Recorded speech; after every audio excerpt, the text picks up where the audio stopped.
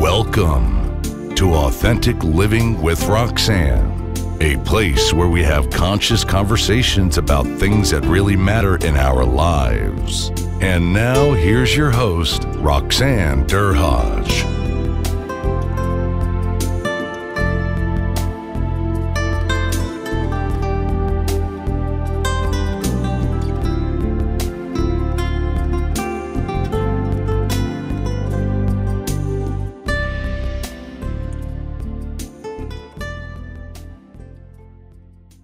Everyone, it's uh, Roxanne Derhodge of Authentic Living with Roxanne. Today I have a colleague, Kelly Blackaby, and Kelly brings a uh, unique expertise, uh, I think a topic that I've touched on, which is basically women in leadership. But this, her perspective uh, is a bit different in her, in that she works a lot of, um, with a lot of emerging leaders in the Middle East. And I thought it's a conversation uh, that was very valuable to have. So Kelly, thanks so much for coming on today. Thank you, Roxanne. It's a pleasure to speak with you. So, Kelly, Kelly's been in um, international HR, I think, for about 20 years or so, and working. Uh, I think you've been working in the Middle East for quite a long time. So, tell us a little bit about kind of your process and what ended up, you know, getting you to the space where you ended up working a lot in the Middle East. Sure, sure, fantastic. So, so yes, as uh, as you said, I've been in the um, HR industry for twenty years. Uh, was lucky enough to have the opportunity to work in Saudi Arabia for a large organisation um, that's based over in Riyadh. Um, I worked there for eight years and then came back to the UK, but continued to to support them as an HR and uh, culture consultant.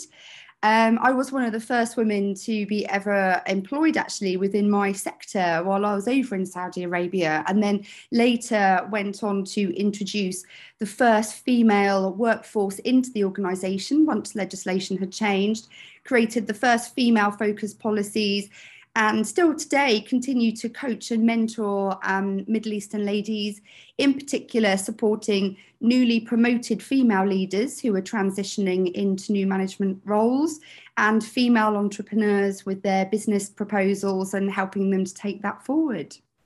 Curious, right? Like, because you, you hear about this time, and I think in, in different parts of the world, we, we kind of think it's a concept, right? But you've you were at the kind of the beginning point where things were just opening up for women in the Middle East. What was that like for you? Obviously, born and raised in the UK, been in, you know, been working in Europe or internationally. What was that like for you um, as a senior female leader entering that that realm? Yes, absolutely. Yes, it was fascinating. Um, I so I was the most senior um, female employee at the po- at that point, and also the only female employee in human resources. So I ha- actually had a lot of opportunity to help to drive some of that change. Um, which was fantastic. And the organisation itself actually was was quite responsive to that change. Um, I think in, in terms of if we talk a little bit about Saudi, I mean, the in 2009, so while I was there, only 14% of the um, of Saudi women above the age of 15 were employed. Uh, most of that was in the public sector. So, um, in the private sector where I was, only 8.5% of Saudi uh, workers were, were women um, in 2009. And most of the roles were held by men or non Saudi expatriate workers. But Saudi women make up 32% of um, the workforce now that we move uh, many years later. And there's a huge opportunity there for um, Saudi ladies to join that, um, the workplace. And I think even back when I was when I was employed as one of the very first women, the Saudi organisations did recognise that there was this huge untapped resource um, that was there, that was waiting to, to come and contribute to the economy and contribute to the workplace. It was just having the opportunity really to, to kind of access them. Um, so, yes, it was great when it changed. So interesting, right? Because we talk a lot about parity, you know, other parts of the world. And, you know, you come into a, an environment where now, like you said, 32%, that's massive uh, compared to when you started. Um, so, how is it that um, there's a lot of female executives now, like you said, in Saudi. What's it like them? Let's say, you know, from an international frame, if we look at, you know, Europe or, or Asia or even North America, and you look at a female executive and com- kind of, and I know it might be an unfair question, but how do they compare um, to yeah. other, uh, say, female executives? Yeah, sure. So I think I think Saudi itself has has done a lot of work in terms of helping to support um, Saudi leaders, uh, sorry, female leaders uh, within the workplace. So they have made some great progress. Um, they've introduced some reforms under their Vision 2030, which is their national development plan, to bring some changes um, to support women uh, and they've really benefited. So, for example, um, they've been looking at closing gender gaps. Um, within introducing a minimum salary for Saudi women. Um, they've looked at equalising retirement age for women, which was always very different. And they've also introduced greater protection from discrimination and harassment in the workplace. So I guess what else needs to be done and what, what else is it that, that female leaders are are potentially looking for or still lacking within the organisation. And I think what doesn't exist at, at this point is a, sort of history, I guess, of that and that peer structure for female leaders. So um, they are the very first of their generation and, and in history to uh, take these roles. And so um, what we have in other parts of the world is access to uh, peers to mentors to coaches to tools that have existed and, and been tested throughout the years to help us within our positions. And that's something which I think, having spoken to many Saudi ladies, and as I say, I, I do mentor um, quite a few still at, at senior positions, and that's something that I think they feel is still developing and still still something that's that's much needed in the region. I think of, you know, again, historical context uh, when I was a senior leader uh, and I was trying to kind of go up a level, I would find, you know, someone that could kind of mentor me accordingly to kind of go up, you know, as a level. But this is not something that really has been, like you said, it's a historical legacy piece that they are the, you know, um, the beginning point. They're the four and I, forefathers. I'm not sure what the proper word would be for. They are building history as being the first ones. So that's an interesting thing. So I know um, that you have been working arduously to develop something uh, which would kind of help some of these needs. So tell us a little bit about that because. Uh, you know, when Kelly and I spoke, it was fascinating because these are things that mentors, mentees, you know, um, allies, all those things are things that you know we're continually uh, looking at um, on a corporate lens here in North America. But this is something that really, based on need in the in the Arab uh, countries, that you're actually building from the ground up. So tell us a little bit more about that, Kelly. Yeah, absolutely. So again, kind of, I guess, looking at my own personal experience of being a, a female leader within the region and um, the challenges that I face while I was there. And then, as I say, speaking to some of the ladies that are kind of going through that transition at the moment. And I think there's still a lot that needs to happen for Middle Eastern women, and particularly within smaller organizations. Um, the larger corporations have been introducing some great initiatives, taking some um, best practice from other parts of the world and, and putting that. Um, putting that in, in place. But I think the smaller organisations uh, also then still need to make some positive changes. Um, and particularly when we're looking at the entire, I guess, population, women do make up 40% of the population in Saudi. So most of those um, women will be coming up now and looking for, for positions in the workplace. So there needs to be some, some opportunities for them um, to progress within that.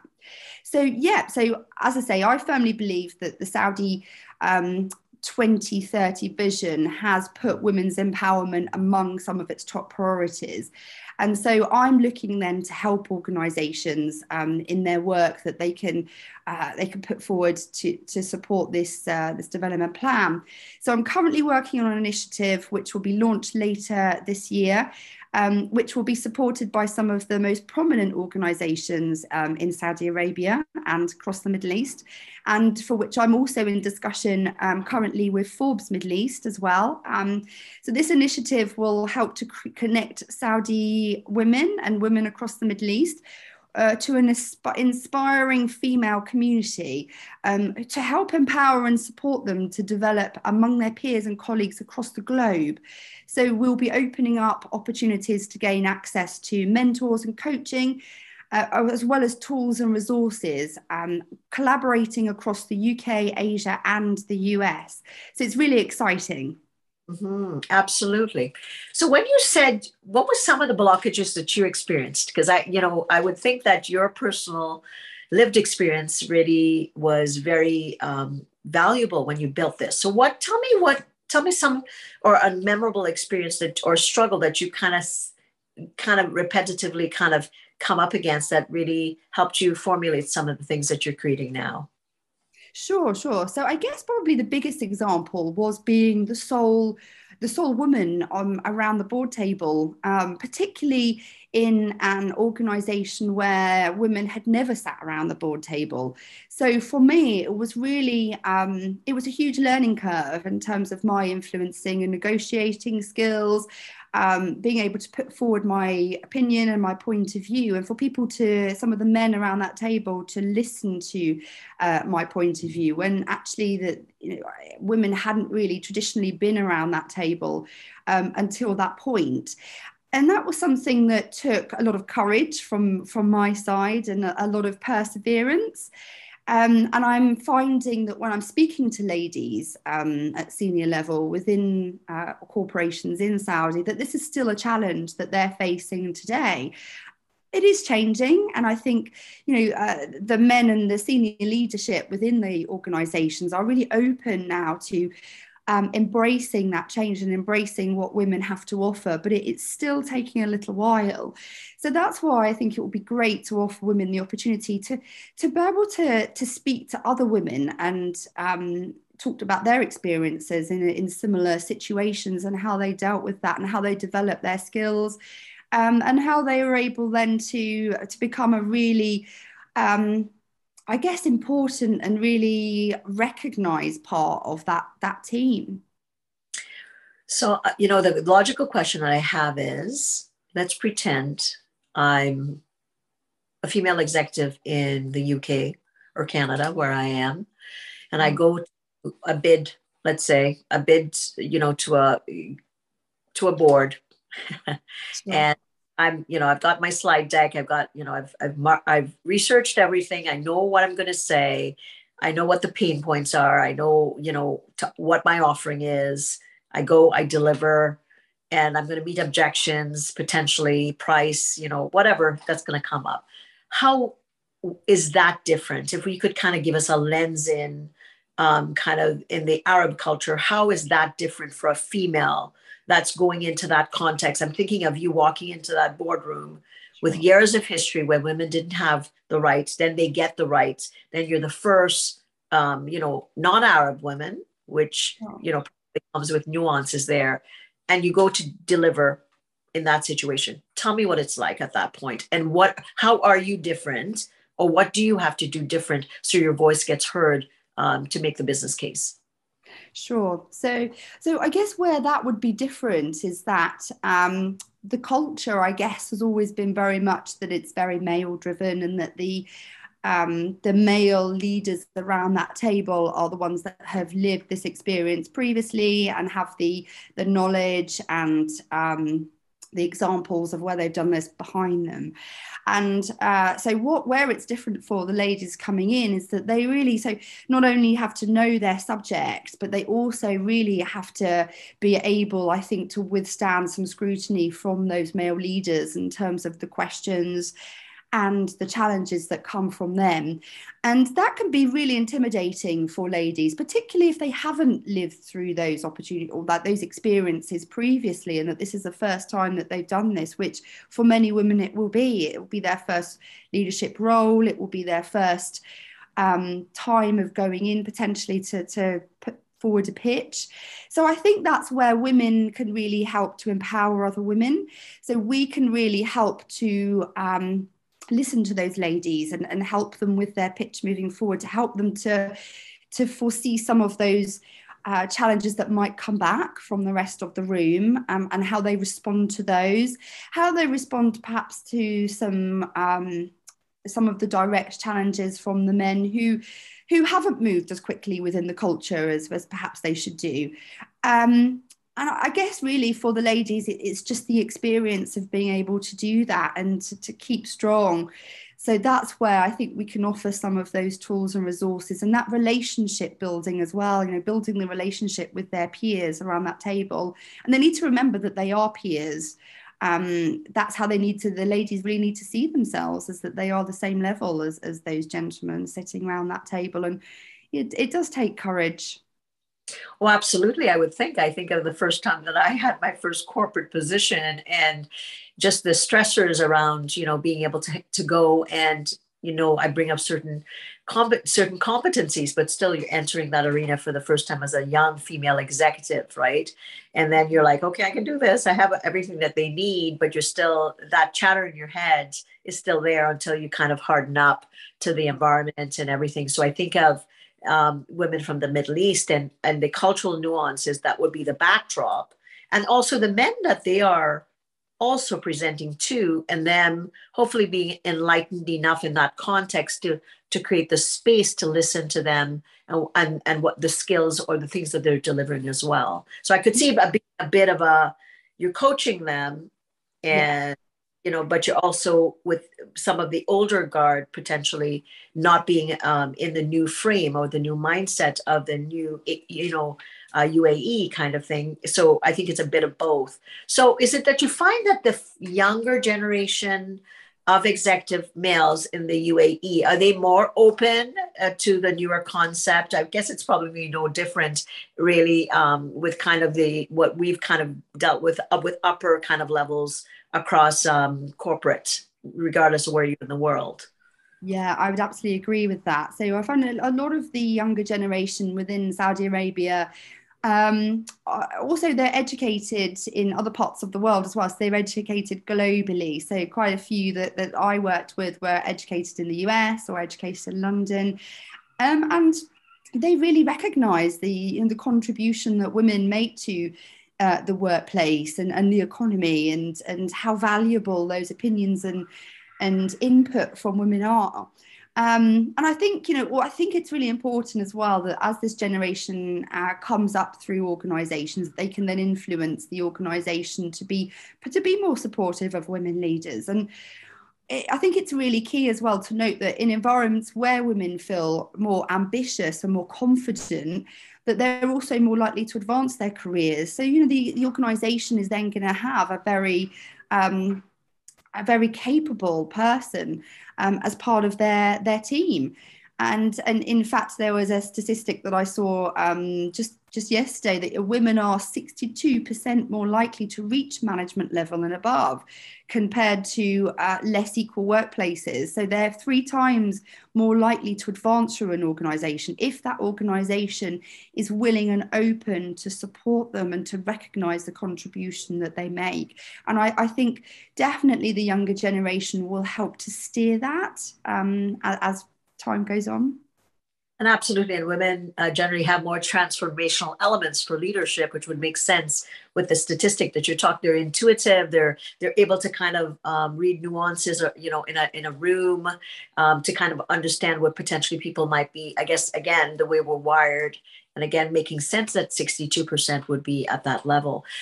Now, for women listening right? Not just in the in the in the Middle East, on people that are living mis, listening in the Middle East, or even in North America. Let's say North American companies that are expanding out into into the Middle East.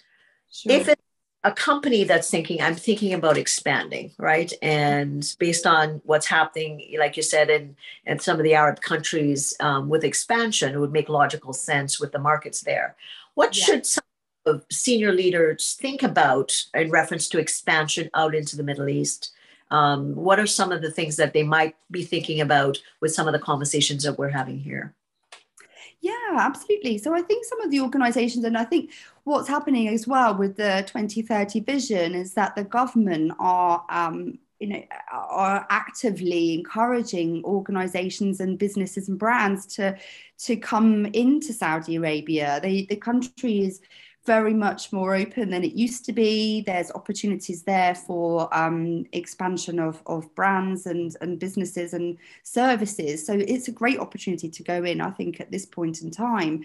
So I think for brands, I think what they would what they could offer actually to to the country and to really help to drive some of this change forward is to come and, and set, I guess, a bit of an example in terms of opening up their businesses there and really promoting their female leaders, including their female leaders within um, working parties, um, within as part of the decision making process. I, I think they the, the history and the culture will change as more um, as more of these organisations come in and really demonstrate about how much they support women um, at all levels through, throughout their organisation. So uh, it's, it's exciting. I think there is. I think it, the change is just going to continue to operate at such a pace. I'm looking forward to, to seeing how how it goes amazing and i think that's that's so right like you said like if you are looking at expansion and you have these you know uh young female leaders. And you know i'm I, you know i'm at the stage of my career now most of the female leaders that i'm dealing with they're about 20 years my junior. So you're realizing um, how many female leaders have done so much quite young as well. And you know now they're the, the you know they're taking over the the realm of of uh, pretty pretty big positions. So I think that's really exciting for brands to, you know, if they're seeing that there's female leaders that want to be able to take on new challenges and projects, uh, what a what a great opportunity for companies to potentially offer that. So tell me within what you're building, right, for a company listening and saying, you know, you know, we might need the help, you know, to kind of access um, support for female leaders. Um, what kind of support you talked a bit about coaching um, so uh, coaching um, mentors mentees what else will there be? Will there be um, ability to have online courses? What kind of other things might you be offering?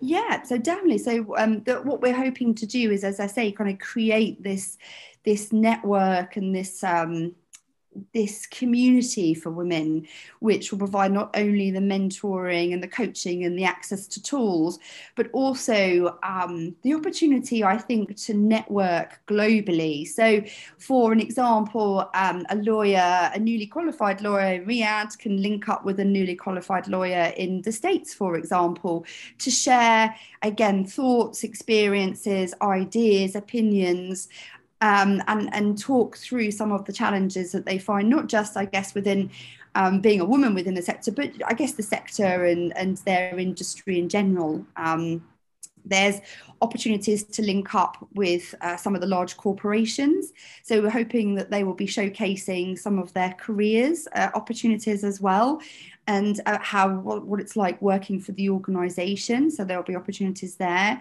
Um, there will be opportunities for education. Uh, there'll be opportunities for qualifications. So it's it's going to be very broad in terms of everything there that women can kind of reach out for whatever stage of career, uh, whatever stage of their career that they're at at that point in time. If they need something, they can they can reach out and, and easily find something that fits um, with whatever, I guess, sort of situation they are. So, whether they're working from home, whether they're uh, studying at home, whether they're working in a workplace or hybrid working, whether they're a working mum.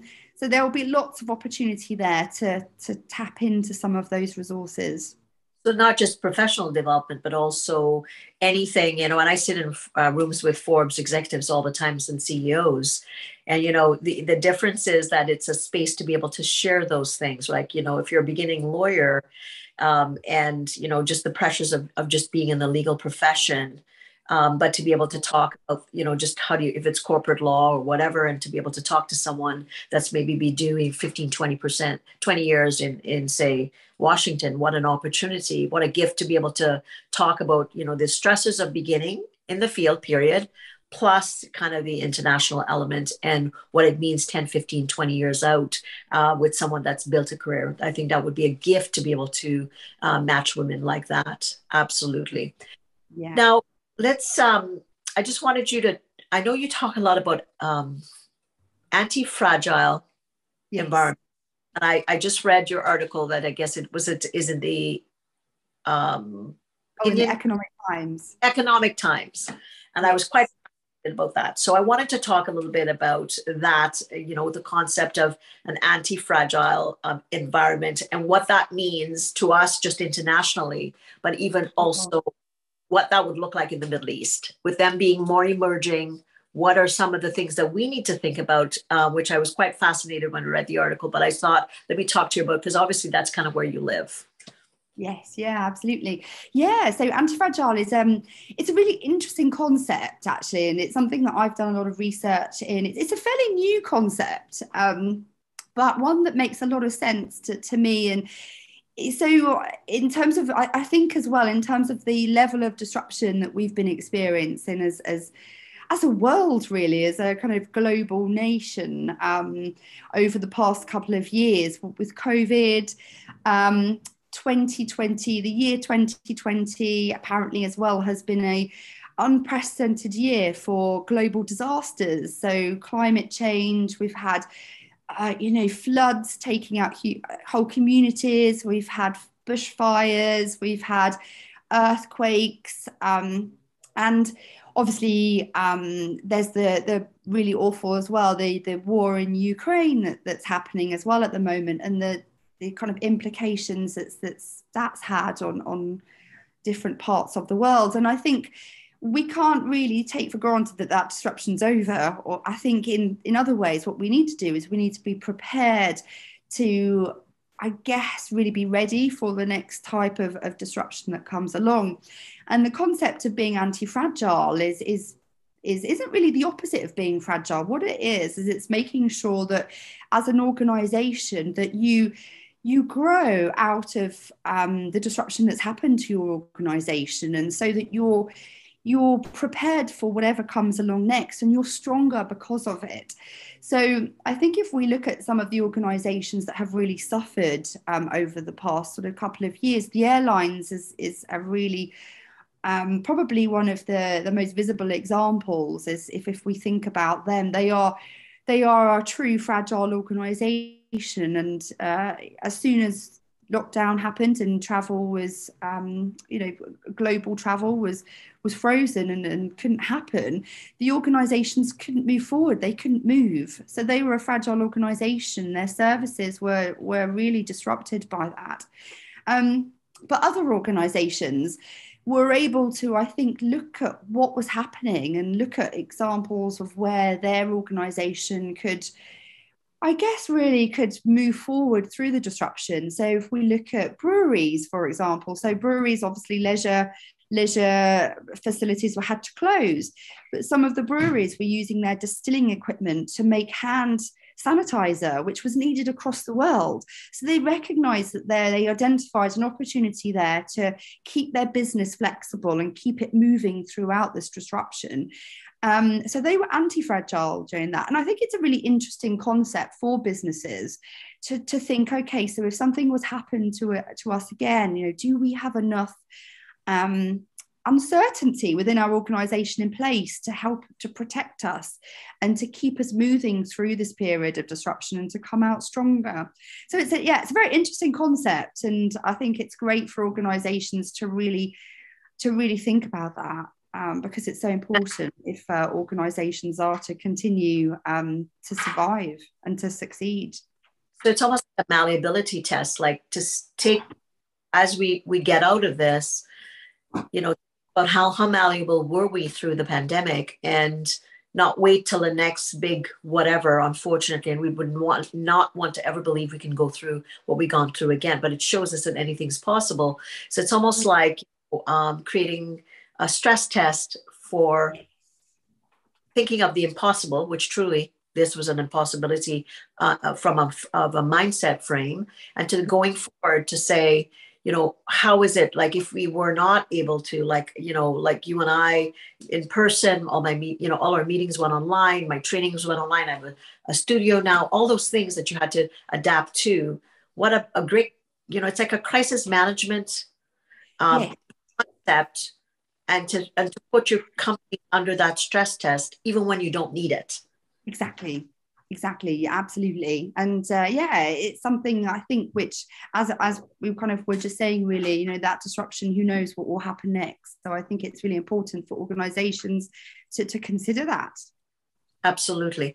So to think to think of that in the middle east let's and we're going to wrap up and i know i've you know we've probably already gone over time kelly but if we were to think about that anti-stress test out in the middle east with emerging female leaders that's a thin edge of the wedge, but that's your that's your playground. What is what kind of things should um, Middle Eastern companies be thinking about with emerging female leaders in sure. the future?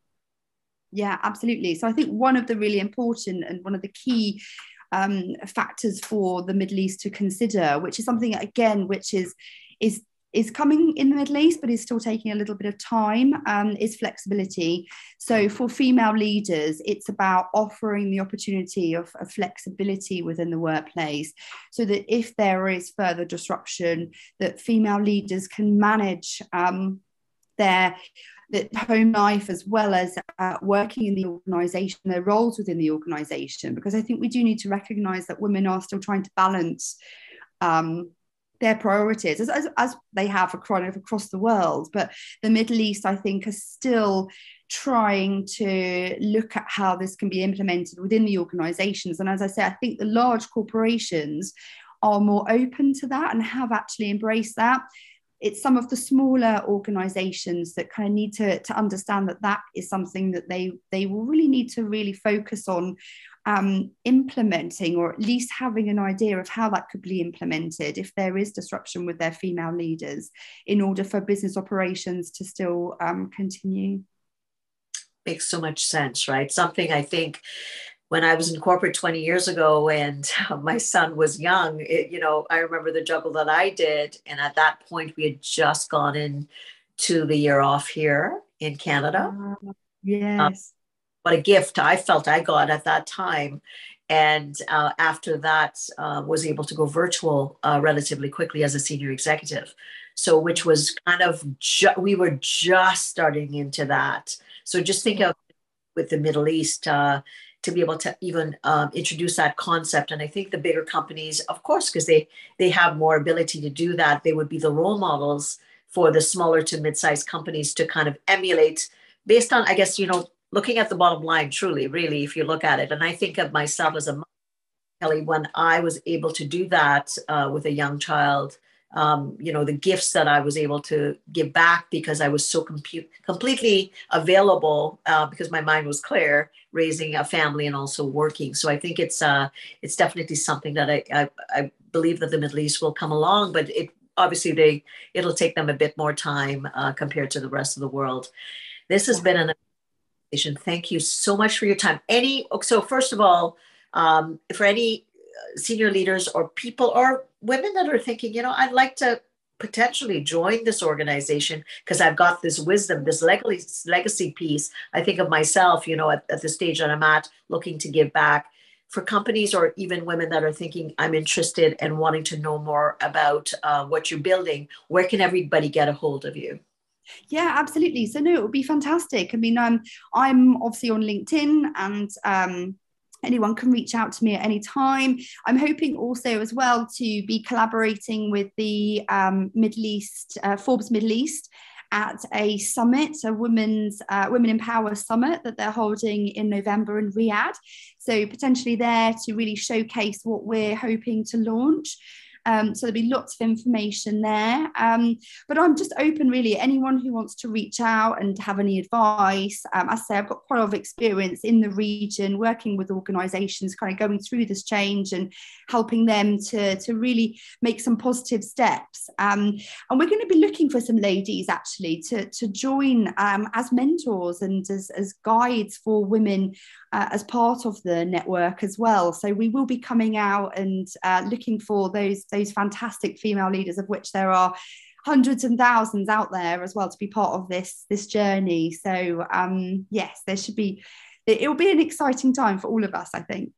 Busy and exciting, no doubt. I'm sure you're in the, the throes of, of finalizing every, everything if you're saying it's launching in the fall. And do let me know so that if, if there's anything I can do to help you promote it, I would be more than uh, absolutely. No, we will definitely be well. But no, thank you so much. It's been great to, to have such a pleasure to talk to you about some of these experiences and how Saudi's changed. It's very much in my heart, having lived there for, for many years. Awesome. Well, and, and maybe there'll be the opportunity to come to Forbes as well to be able to share about this, because I'm sure a lot of the CEOs at the Women's Executive Council would be interested in it as well. So, for listening, like what what amazing information, and for you know, I you know, it, it's a privilege to hear as you know we work on parity here in North America, and we will continually uh, work on parity with women. Uh, transformational leadership is a core fundamental that females bring with them. So, uh, being able to expand that to different parts of the world that have not uh, been as fortunate as us, what a gift you're giving uh, to the world, Kelly. Uh, so, what what what a nice place to be for you, and for everyone you know, if you're interested, please uh, reach out to Kelly. But if you're wanting to know about authentic leaderships, whether it's at home or at work, um, what you can do is go to roxannederhodge.com forward slash quiz. You take a really quick quiz. We give send you some uh, feedback about where you're at and some steps to enhance things. So um, you know, just do that. It won't take very long, and uh, we'll we'll get that back to you as soon as possible. Again, Kelly, thanks so much for your time, everyone. I'll check you out. Please check us out again next uh, Thursday at eleven. Take care. Thanks for tuning in to Authentic Living with Roxanne, creating the space for positive, healthy change. Roxanne is a keynote speaker, psychotherapist, and coach. To work with Roxanne, visit roxannederhodge.com slash blueprint. We'll see you next time on Authentic Living with Roxanne.